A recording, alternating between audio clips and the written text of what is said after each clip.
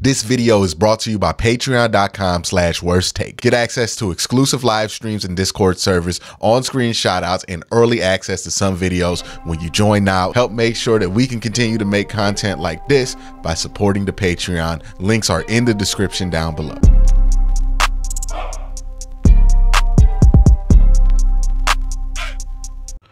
With this week 11 rewatch, there's a lot of things to talk about, but I think one of the most interesting things to talk about with this rewatch is DTR because DTR is somebody that during the season I thought had some potential based off of what he did in college, based off of what he did in his preseason run. And I was one of those people who was pushing, hey, DTR if he starts for the rest of the year, that could be something that wouldn't be the worst case scenario. And this is why I think rewatching a game, especially with the mindset, right? And that's what I'm doing with this rewatch series. I want to challenge what I thought coming in. And if you're rewatching with me at home, I want y'all to challenge what you thought coming in. If you thought Deshaun Watson played bad, challenge yourself and look for evidence that proves yourself wrong in a rewatch and vice versa, right? I went into this rewatch thinking, hey, I think Deshaun Watson's play was underrated. During this rewatch, I've been able to point out specific reasons, stats, numbers, highlights on why I believe that because I challenged my own opinion on that to see if it was right. With this rewatch, some of the takes that I've had during the season and have held throughout the offseason have stood up through this rewatch, right? Okay, Myles Garrett, very good. Obviously going to stand up through the rewatch, even if I look for reasons why Myles might have not been good, right? There have been some opinions that have popped up during this rewatch that I didn't necessarily carry before, but really feel strongly about now, right? The the place that Shelby Harris had on this defensive line, the difficulty I think this team is gonna have replacing Sione Takitaki and Anthony Walker, um, and Ogbo Okoronkwo being super underrated in what he brings to the Browns defense. Then there are opinions that I felt strongly about during the season that I look back on on the rewatch now that everything's done, right? I'm not caught up in the energy of the season like we all are. I'm not caught up in the hype of the moment or the energy of the moment. And it's just watching football games. And sometimes when you do that, you run into a take that you have that you're like, wow, I don't know if I believe that anymore. And while this is a game that is a notch in DTR's belt because on paper he beat the Pittsburgh Steelers in one of his first real starts, and he had a good drive at the end of the game to make that happen.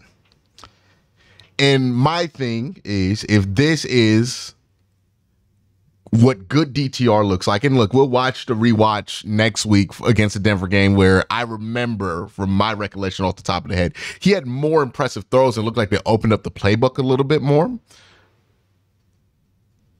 If this is anywhere close to what Kevin Stefanski and AVP's plan was for the offense that they're going to run for DTR, this just was not sustainable. The reason I say that is when you watch this game, and you can go back and watch this game, go back and watch it anytime the DTR is the quarterback, more so than any other quarterback that they put out there. Every completion feels like a grind. Like it just feels like very difficult offense to get. And more concerning to me, DTR seems to be limited on the combination of plays he can successfully run in the NFL, right? Like if you need to run a quick slant, he can throw that. If you need to run a stick in the middle of the field, he can throw that. But if you ask him to throw a deep nine, he can't he can't do that with touch. If you ask him to throw a corner, he can't do that. If you ask him a honey hole corner two, he can't do that. I am trying to say this to be constructive. Some of this stuff can't be fixed, but I have to be honest. I have to be constructive. I have to tell y'all why I feel this way so you don't think I just had a random change of mind. And this brings me to the weird contradiction that is DTR. He's a great athlete. He is special when he runs the ball and he's cutting up. He's a spectacular, a plus plus athlete. His arm talent is one of the weirdest mysteries I've ever I've ever seen from a quarterback in my life. Because he is on one hand capable of throwing the football with incredible zip. Incredible zip that would indicate that he is capable of throwing the ball very far downfield. But almost every time he pushes the ball past 35 yards, it's bad. It's really bad. Um, I'm concerned when I really hone in and watch all of his pass attempts. I wonder, is touch a thing that he has in his arsenal? Like, is that something he can learn down the road, or is that a thing that he has in his arsenal? Again, I'm not being constructive of DTR on the same scale that I would be of a starting quarterback the bar is lower than that that I'm measuring DTR. I'm measuring him against being a backup quarterback, right? Can he be a backup quarterback in the NFL? And even some of these things, just what you expect from a backup. You expect a backup to be able to make most of throws. I did not watch a quarterback I felt like was capable of making most of throws. He is capable of making some spectacular passes, but is he capable of making the layups that he needs to make? I don't know. It doesn't seem like that comes easy to him. He is the NFL version of a basketball player that shoots well when they're covered, but when they're wide open, you never know what to expect with them. That is what watching this game with DTR was. I was watching this game with DTR and I had the realization that if this was not a rookie that has a lot of intriguing tools and a lot of I don't want to call it upside, but with those tools, you think that there's a lot of upside there, right? Somebody could run 4-3, somebody could throw the the seams off a of football.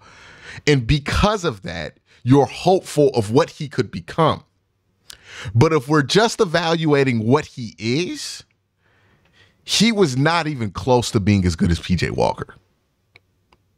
Like PJ Walker was more capable of making more throws on a more consistent basis. And this is the issue with developmental backup quarterbacks. Maybe this is something with enough reps that DTR could work out. Maybe he can learn touch. Maybe he can figure out how to apply some of that pressure he puts on the football to throw it so damn hard to throw it far down the field inaccurately. Because if he does figure it out, there is a talented quarterback in there for DTR. But if you draft him to be a developmental backup, he's never going to get those reps. So, what is he ever going to become? because these issues that DTR has, in my opinion, kind of make him unplayable. And I know that sounds harsh for somebody that we were super excited about as late as what, November? But I think it's the truth. And if you look at how the Browns have moved this offseason, they brought in Tyler Huntley. They were talking about going after Joe Milton it feels like that's something that they think too. Then you add in that DTR already had limitations coming into the season, right? He already had limitations. We knew that the deep ball stuff was not there for him at UCLA. We knew that the arm the arm talent stuff was weird for him at UCLA and even in the preseason. Well, the solution for all of that, my bad, was well, He's going to play in a Kubiak system. He's not going to be asked to do a ton of that. All he's going to be asked to do is play on time. And his play style is similar to Brock Purdy. So you could see there being a similar transition. But when you watch Brock Purdy and you watch DTR, while they play similarly, what Brock Purdy is great at is hitting layups. He can make a great throw every once in a while, but you're not going to be wild by the throw profile of Brock Purdy. What you are going to be wild by when you watch Brock Purdy is the consistency that he hits his open receivers. And that is a skill. There's plenty of times in this game where DTR has an open receiver running an out and he can't get the ball to that player properly and it turns into a to a pass breakup, it turns into an interception. It turns into a mess. Look at what David Njoku did in this game. Absolutely nothing. There were opportunities for David Njoku to do things, but DTR could not hit the layups. And we can blame some of that on the receivers not catching the ball, which I think a lot of us, including myself, went to during the season, right? But when you actually think about it, blaming a receiver for dropping a ball when there is clear evidence that when this quarterback plays, this specific quarterback plays, all of these receivers drop the ball more, right? The drops weren't a problem with PJ Walker. The drops weren't a problem with Joe Flacco. The drops weren't a problem with Deshaun Watson. But you put DTR in, and all of a sudden, Amari Cooper can't catch. All of a sudden, um, Elijah Moore can't catch. All of a sudden, David and Njoku is dribbling footballs like it's 2018. That this is kind of DTR's fault. It almost feels to me like we're blaming the rim for him missing shots. At some point, you just have to admit you can't shoot. And with DTR, while all of the tools seem to be there, they don't combine and compile in a way that I feel like is helpful right now. Yes, he can move, but he can't throw on the run to save his life. Um, yes, he can throw the ball really hard, but he can't get the ball downfield. And then you see that he's moved into this offense that's more built around what Josh Allen does, what Deshaun Watson does what Jameis Winston does, what Cam Newton did. And I just don't see that as a scenario in which DTR is going to thrive. I don't want to say that, like, just because the offense is changing, just because they're going to be attacking downfield, that there's not a version of that offense that DTR can run. There certainly is a version of the spread that you can put a weak arm quarterback in. Tons of guys have done it. Like, that's that's Cliff Kingsbury's claim to fame is spread offenses for weak arm quarterbacks, right? Where you're throwing a ton of screens, you're throwing a ton of tunnels, you're throwing a ton of quick slants, you're throwing like a ton of short routes. There's a version of that offense that exists for a quarterback that does not have the ability to attack downfield, but that is not the most optimal version of that offense. That is not the version of the offense that the Browns are built to thrive with. That that's just kind of what you would have to do if DTR had to play. And I think that it's clear to me if you look at Tyler Huntley's work, he's much more equipped for that than DTR. Jameis Winston, obviously, much more equipped for that. And Deshaun Watson's the whole reason they're putting that thing together. So it makes me wonder where does DTR sit? and if DTR and where he sits is even a consideration anymore for the Cleveland Browns. Because if I'm being honest with you, after this rewatch, and again, maybe my mind changes after the Denver game, after I rewatch the Denver game. But if I'm Andrew Berry, if I'm in the Browns front office, I see no reason to include DTR in his development in my future plans. That doesn't mean you cut him this year, but it it it means that you're not gonna keep a roster spot just so he can stay on the team. If it so happens that you have to cut him to keep Tyler Huntley, it's just what's going to have to happen. Right now, if you can keep Tyler on the practice squad, then and keep DTR, sure. But I don't know if I see him as a developmental prospect because some of the issues with DTR they don't feel fixable. Like the arm talent stuff, that does not feel fixable to me. Now, maybe I'm wrong. Maybe those problems are fixable. But I feel like if they were, he would have showed some touch in this game. Like this game happened weeks after that Baltimore game. He had a ton of time to study the playbook, a ton of time to adjust what did and did not work. And touch was a issue in that Baltimore game, and touch is an issue in this Pittsburgh game. I don't think it's something he has great control over. I don't think I think he has good arm talent, but bad arm control. He's like a pitcher who can't throw his pitch in the strike zone. I feel like in order to talk about DTR, I have to compare him to athletes in other spaces that have physical tools, gifts that would make you believe in them. But for whatever reason, don't have the ability to control those gifts consistently enough to provide what is a compelling play on the field. That's the issue with DTR. That's why my mind has changed with DTR because I watched this offense and I watched it with PJ Walker and I watched it with Deshaun Watson. But I think this is why it feeds into why we were like, oh my God, look at the difference with Joe Flacco.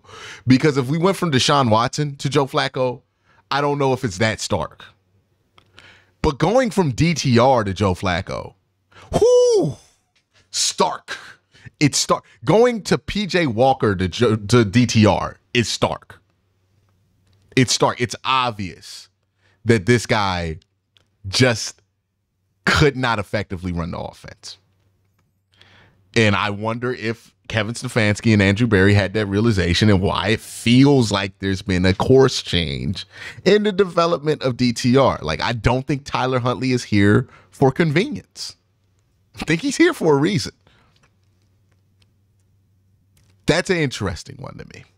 I thought I'd feel different after this Pittsburgh game about DTR because the more the offseason's gone, the more low I've been on him. I've been thinking, hey, well, I'll watch this Pittsburgh game, be reminded about what he can do, and maybe I'll feel better about him. And I just felt worse. Like, yes, he had that one drive at the end of the game, and there were like two good throws in there, but he threw the ball like 40 times in this game, and there's two decent passes I can look at. And that's not great and it and even in this game, it felt like it was obvious that the Browns offense in this form just was not sustainable. Like this was not going to be sustainable. Um, and they needed Joe Flacco to come in to make sure they can resurrect whatever hopes they had in this season. Because I don't think DTR was capable uh, of of of running the offense in a sustainable manner.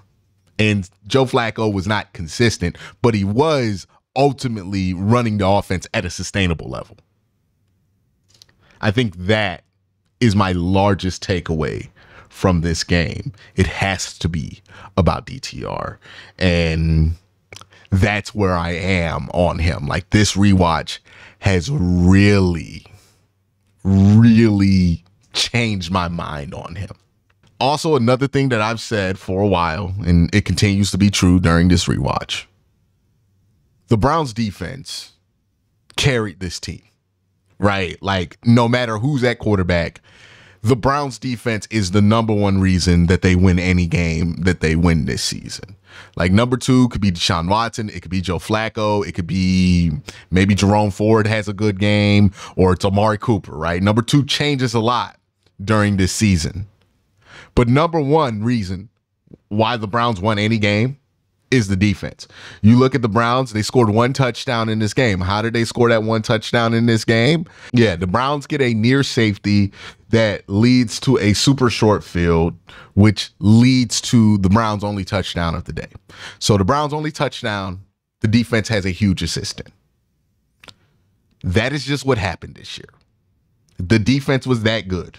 And again, no matter what quarterback's jersey you bought, no matter what quarterback you root for, we have to understand that what happened last year, while the quarterbacks assisted at times, number one reason you won any game you won the defense. It's why I find these assertions that the Browns are going to be bad because Deshaun Watson's come back into the starting lineup kind of silly. Not because I think Deshaun Watson's going to bounce back and win the MVP or anything this year, but because the Browns kind of proved last year what they built. This defense is strong enough to withstand a lot of different levels of quarterback play. The Browns defense bailed out the Browns offense late in this game in the third quarter when DTR throws a interception on a short field that he got because of a roughing the passer, because of a combination of a bad punt and a roughing the passer penalty. He throws an interception on the 30. Browns defense forces a three and out and then forces a bad punt. The Browns get the ball again at the 50. Like the defense, and I cannot state this enough, always the reason the Browns won last year. You can say they're the reason why they lost too in the games that they lost, sure, but they're always the reason why they won. That was the best unit on the team by far. Now, let me talk about Pittsburgh because I do have some interesting things to say about Pittsburgh in this game. I think a lot of conversation about Pittsburgh has been about their quarterback situation. I don't really care about their quarterback situation. If Russ starts, if Justin Fields starts, I don't think they're that different of a team than they were last year with Kenny Pickett. I don't think the story at the Pittsburgh Steelers is going to come down to who's playing quarterback for them. I don't think it matters. The Pittsburgh Steelers and their ability to win games are going to be about their offensive line, their run game, and their defense. That's going to determine if the Pittsburgh Steelers win games or not. Whether Russ is handing the ball off to whoever's running the ball or whether Justin Fields handing that ball off, it does not matter. Now, the question is for me, does Russ's presence change how you attack on offense? It's always been a question because with Russ there, there is pressure to throw the ball a lot more. With Justin Fields, there's not. With Russ, there's pressure to throw the ball more. The reason I think that's important is because I think Jaylen Warren is a really good running back. The Browns in both games versus the Pittsburgh Steelers could not do a thing about Jaylen Warren couldn't do a thing about him. Every big play that the Steelers had on offense came down to two people George Pickens, Jaylen Warren. Literally every big play that they had against the Browns this year came down to those two players. And while I don't think Najee Harris is a bad football player, I do think Najee Harris is a very, very average football player. And what I mean by that is any play that Najee Harris gets 13 yards, I feel like if you put Jaylen Warren in, he gets 23. Like, yes, Najee is capable of taking advantage and making plays when plays are there for him to be made. But you feel like if Jaylen Warren was in the game, it would have been much worse. Like whenever the Browns in any of the games versus Pittsburgh give up a five or 10 yard run to Najee, I take a deep breath of relief because I'm like, good thing Jaylen wasn't in. Because if Jaylen Warren was in, that could have been a touchdown. That could have been a big play. He could have took advantage of that. I think Jaylen Warren is better at breaking tackles than Najee Harris. I think he's faster as a running back. There's literally nothing I think Najee Harris does better than Jaylen Warren. And the question for Pittsburgh isn't who they're going to start at quarterback. It's how much are they going to run the ball and who are they going to run the ball with. If Pittsburgh decides to focus their game on running the ball a lot with Jaylen Warren and a little bit with Najee Harris, they will be a playoff team. If Pittsburgh decides to get caught up in the Russ trap, caught up in the Najee trap because you drafted him in the first round and continues to make Jaylen Warren a side character on this offense, they're going to struggle like they did last year. Maybe they make the playoffs. Maybe they don't. The defense is good. They seem to have good luck, but they're not going to be that harmful of, of a team. But I think Jaylen Warren has some real potential there at running back that is being underutilized. And, you know, I think for Pittsburgh, it's a question of like, who do you prioritize? And that's why I think the Russ signing could be an issue because to me, if you're signing Russ, it's because you think that he might be able to still be Russ. And if you want to find out if he can still be Russ, well, you're going to throw the ball a lot. I don't know if that's good for the Pittsburgh Steelers. I remember saying a similar thing with Ben Roethlisberger and Pittsburgh Steelers fans. They they got mad at me, but I ended up being right about this. Right when Ben Roethlisberger came back from that injury, I put out the question of saying, "Hey, I know you guys are saying if they just do what they did with Mason Rudolph and Duck, and they just do that with Big Ben, that's going to be an upgrade." and they're going to be a better football team. That was literally word for word the same take you're hearing now about Kenny Pickett versus Russell Wilson um, and Justin Fields is the same take that they had when they were like, "Hey, we're going to be such a better team with Ben Roethlisberger because he's going to be an upgraded quarterback." and we're just going to do the same exact thing that we did last year, but with better quarterback play. But what happened with Ben Roethlisberger and the pressure with Ben is much different than it is with Russ, but the pressure still exists with Russ. with Ben Roethlisberger in there, they decided to throw the ball 40 times, more than you would imagine a team to throw the ball 40 times that was not good at throwing it. And that really affected their offense. That's the same effect I worry about Russ having on the team because I've seen it happen with Pittsburgh multiple times before. So with Pittsburgh, I watch this game and I think to myself, man, they could have beat the Browns if they just ran Jaylen Warren a couple times more.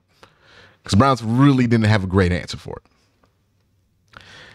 Let me get back to a mini DTR film breakdown to kind of support what I'm saying and why my opinion has changed on DTR in this. And I'll show you guys a few plays to kind of illustrate some of the points that I'm talking about in this video. So this play right here, and you see that on the surface and you're like, okay, he took the screen, that's fine. But then let's look at what you did not get, right? Because he's so, he wants to get rid of the ball so quickly he does not see the field a lot. And this is part of it. And this might change with him being a rookie, but watch David Njoku on this, right? He gets to the top of his drop, and David David's there for the stick route, and David's a much more dangerous runner with the football. That's a minor miss, but it's a miss, right? You could have got David on stick. I'm pretty sure that's why they run that action. Right here, this play, and again, you can look at this play and blame David and Njoku, right? Because he got his hands on the football. But man, that ball is going all of like what, eight yards in the air? There's no reason for it to be that high. Like, I get the frustration with the wide receiver if he touches a football and it's downfield and he cannot catch it. Because if you're a wide receiver in that situation, you should not be expecting a perfect ball. So you should make some adjustment. But if you are within the first 10 yards of a play, five yards within five yards of the line of scrimmage, you should expect a relatively well thrown football. And if you don't throw a relatively well thrown football on one of those plays, you're going to get a tip ball interception eventually. Um, so, yeah, you can try to blame this on David. I don't think it really sells for me because this throw is just unacceptable at this distance. And look how much damage can happen if you just miss that throw. You got to hit the layups, right? Um, right here, let's see what happens. This is the one where he misses Akins. No, this is just another bad throw. And again, there's just less leniency for inaccuracy when you're throwing the ball this close to the line of scrimmage. Now, this is what within ten of the line of scrimmage. This just has to be an accurate football. Downfield, some leniency. Like if he threw this corner, this post route to Amari Cooper on this side of the field, and he misses it, okay, whatever. It's downfield. There's like one person there. It's whatever. But here, there's like three Steelers that can crash onto that ball if it's popped in the air. That just has to be an accurate football. Like Elijah Moore should not have to jump to catch this football. That needs to be an accurate football consistently. And consistently, it was inaccurate for him. Another play. I think this is where he misses uh, Jordan Akins. Yes. So you look at this play, you're like, oh, cool, completion. And then Elijah Moore gets a little bit extra, and you get a first down, and it looks like a good play.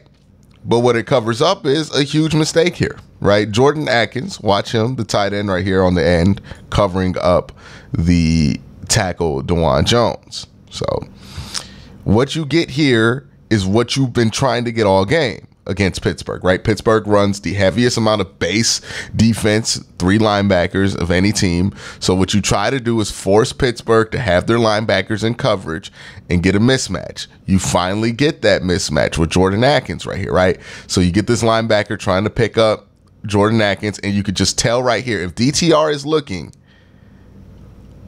right here, he should know immediately off that angle that linebacker is taking off the body language of that linebacker.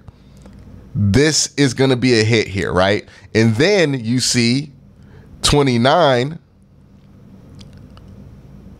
creep up into Cedric Tillman, which means oh, this window's wide open, right? Look at look at uh, Jordan Akins, wide open window there. He's expecting the football the second he turns, doesn't get the football because DTR is just either he's hesitant or he just doesn't even ever peep it, right? Like he just he looks left and he glances here on this side of field and he just never peeps that that linebacker is doing exactly what they want him to do.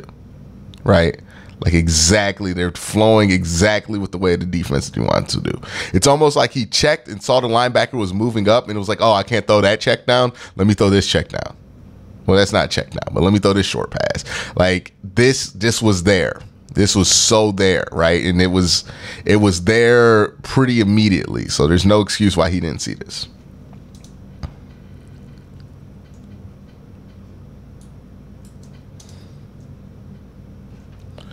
This one is an example of a play that like this this isn't DTR's fault, right? Like this is a good ball. David Njoku just simply does not catch this, right? Which is why you can give him some grace from some areas. But for every play like that, there's more plays where he's missing stuff, right? And it's easy to get caught up, and I think we all did. And hey, he's he's not playing that badly. These guys are dropping passes around him and looking at the drop numbers and getting um, caught up in that with your analysis, but when you look at it, it's just like, what's that? These are easy throws, man. These are 10 yard throws. Like, and, now I want to make this sound like that's a layup. That's not a layup, but it's a shot he should make, right? Like, that, that's an NFL throw you're going to be expected to make 10 times a game, man. Right here, Okay, so he throws this ball to David Njoku. Again, when you're watching the game, you're like, hey, yay, completion. But when you watch the film, watch Elijah Moore, right? On the outside here next to the 40 on the top of your screen. Elijah Moore, he's running it out, and you get exactly what you want. And again, I'm not saying, oh, he popped open late. Look at him. No, no, no, no, no. Watch the whole process of the play. Because sometimes people will screenshot a player, right? And be like, oh, he was open but they don't show the process and you're like, oh, there's no way the quarterback would have saw that early enough to make a decision. Here, he should have been able to see this, right? Early in the play, you look at Elijah Moore and boom, wins off the line of scrimmage, he gets a free run. So automatically you're you're processing this and you're like, okay, you know Elijah is running it out. Where's Elijah cutting that out? At the 50. So Elijah's cutting this out at the 50. You see that the way that this DB is coming out, he is worried about that check down. He's worried about is that Cedric Tillman, right? You see this linebacker holding middle of the field, maybe waiting for David and Njoku, or he's going to chase Elijah Moore. Either way, he's too late, um, and nobody is in that part of the field. If you're DTR, you should have your eyes on this. The second you see the free release, especially after you see a pretty contested release here with the with Amari Cooper, right? You see a pretty contested release there on that right side and again, his eyes are where they're supposed to be at the beginning of display. They're looking over there. And he just goes off of it. He never sees it. He just goes off. Look. He goes off of that and he throws in the middle of the field, which is fine. But then look where Elijah Moore is. You get that ball to him on time, in rhythm, he could get to the 40. This is what I mean when I'm like the offense just looks so hard for him and the Cleveland Browns in this game because this is the stuff that makes the offense look easy, right? When you're just taking that easy completion. Throwing that to Elijah Moore. It's a tough ball, but it's the NFL. You should be able to make a tough throw. But instead, he has to like zip this thing in the gut of David Njoku between two defenders just to get that first down when there was a much easier completion available. And that's kind of what happens with DTR. Like I remember Mark Sanchez had this line that I ridiculed when I first heard it, but now I kind of understand it. Where he's like, "Oh, DTR is doing trick shots." This is what he means. There's easier throws available, but because of his limitations, he has to throw some of these crazy passes in order to get the ball to get a completion because he just doesn't have universal arm talent in a way that like other quarterbacks do. He can't make all the throws. Here, this ball is late to Amari Cooper, so like at least he's like trying to process and see and wait. And then again, this is rookie stuff, but it's like it just I don't know if he's processing that well. It's late. It almost gets picked off. It should have got picked off, and it would have been a pick six.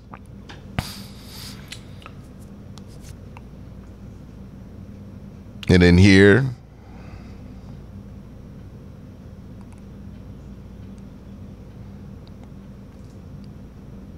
It's another one where he's just it's just getting too predictable. I mean, look look how much look how little fear the Steelers have of anything. And again, if you just wait for this to process, look at look at uh Jordan Akins right here on the top of your screen at the 40 below Amari Cooper. Watch him and you're going to see he beats his linebacker, right? Boom, beats him. He should be waiting for that. But instead he just he wants to get rid of this ball super quickly he doesn't want to see what happens. And instead of seeing, oh, Jordan Akins beat his man, I got a seam shot right here. He just throws this little, this this predictable out, not out, this predictable curl to Amari Cooper, and that's it. It's to be pretty easy to block right there, right? He he just he was so locked into one option, and again, to be lenient, maybe this has to do with him being a rookie but I would expect more out of a rookie that you expect within the first four years of their contract to be a backup quarterback. Like this is concerning, to be honest with you.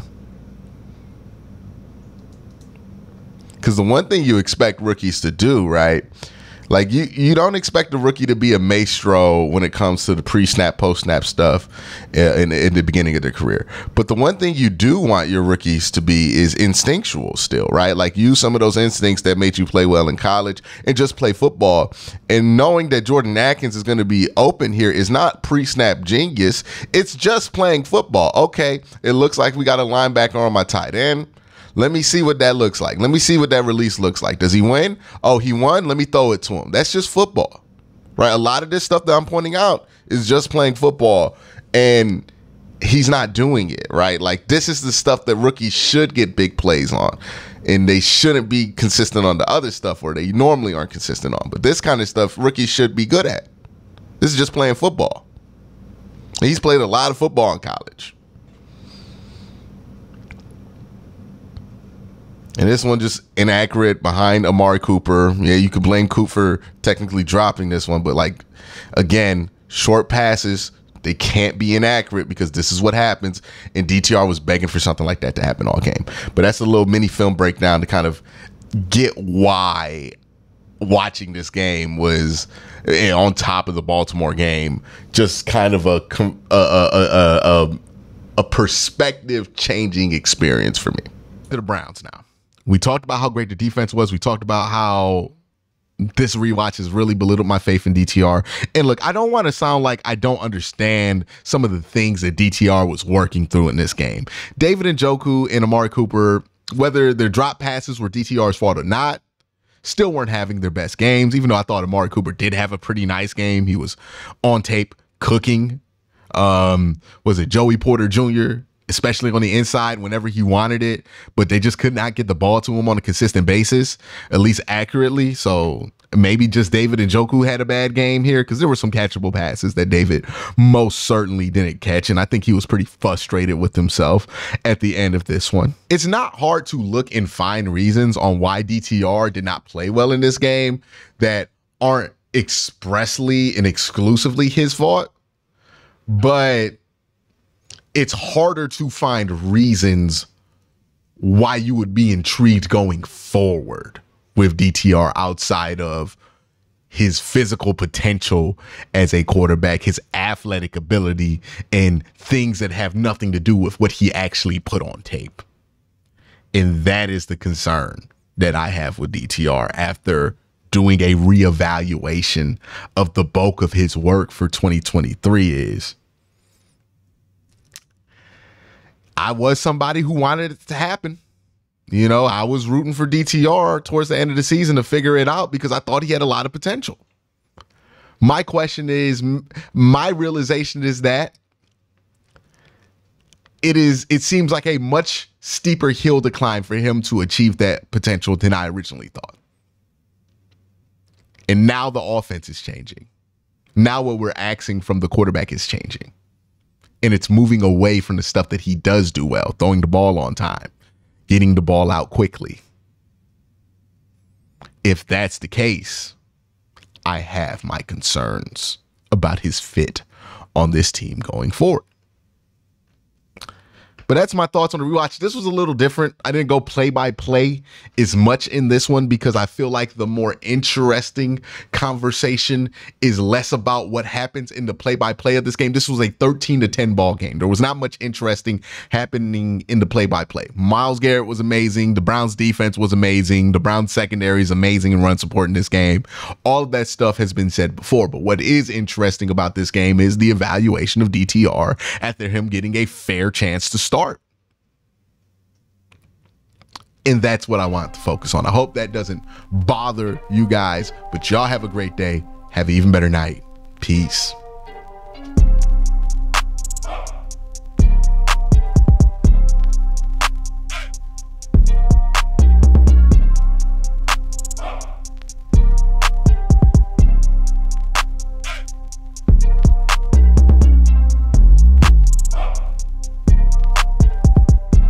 He gets 23.